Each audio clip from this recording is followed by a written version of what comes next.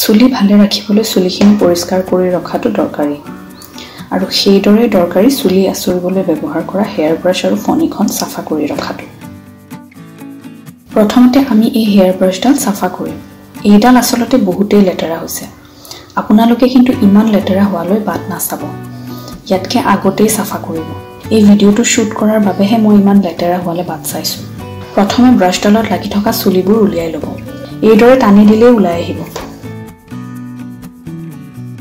উলিয়াবলৈ বেছি অসুবিধা হ'লে এইদৰে কেঁচিৰে কাটি দিব।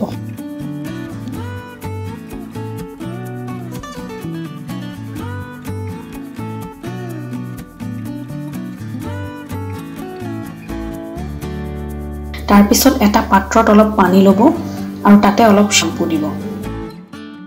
আপুনি যিকোনো শ্বেম্পু ব্যৱহাৰ কৰিব পাৰে।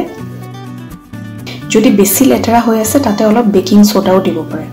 মনত ৰাখিব পেকেটৰ ওপৰত লিখা থাকিব কুকিং বা বেকিং ছ'ডা পানীখিনি ভালকৈ মিক্স কৰি লৈ ব্ৰাছডালৰ সন্মুখৰ অংশখিনি তিয়াই দিব। ব্ৰাছডালৰ এই অংশটোত কাঠ আছে। গতিকে এই অংশটো পানীত তিয়াই নিদিওঁ।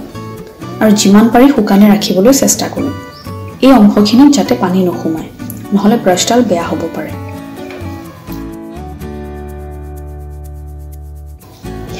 এডাল সৰু ব্ৰাছ লৈ ভালদৰে হেয়াৰ ব্ৰাছডাল ঘঁহি দিব।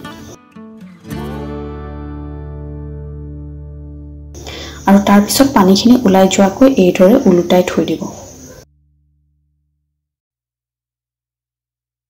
এতিয়া আমি ফণিখন চাফা কৰিম। ফণিখন চাফা কৰাটো অতি সহজ। ফণিখনৰ পৰা চুলিখিনি গুচাই ল'ব আৰু তাৰপিছত হেয়াৰ ব্ৰাছডাল চাফা কৰোঁতে ব্যৱহাৰ কৰা পানীখিনি তিয়াই দিব। যিহেতু ফণিবোৰ বেছিকৈ প্লাষ্টিকৰে থাকে গতিকে অলপ দেৰিলৈ তিয়াই থ'লেও কোনো কথা নাই। তাৰপিছত ফণিখন উলিয়াই আনি ব্ৰাছ এডালেৰে ঘঁহি দিব আৰু শুকাবলৈ থৈ দিব।